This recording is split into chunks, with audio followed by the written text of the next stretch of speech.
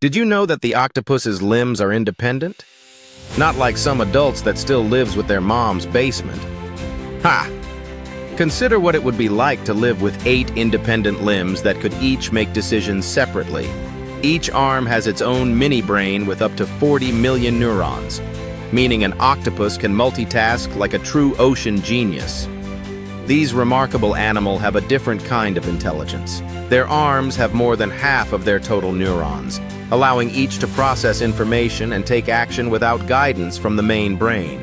While the main brain gives the mission, the arms figure out the details, almost like they have a mind of their own.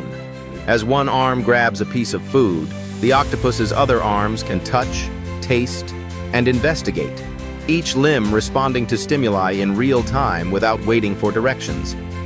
One arm can open a shell, while the other feels for predators, and another samples the environment, all at once.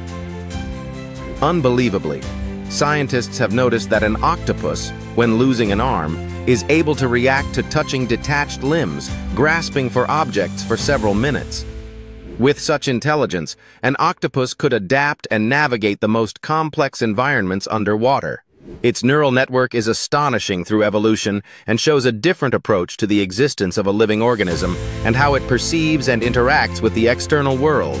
Subscribe, like, and share for more fun facts. See you in our next video.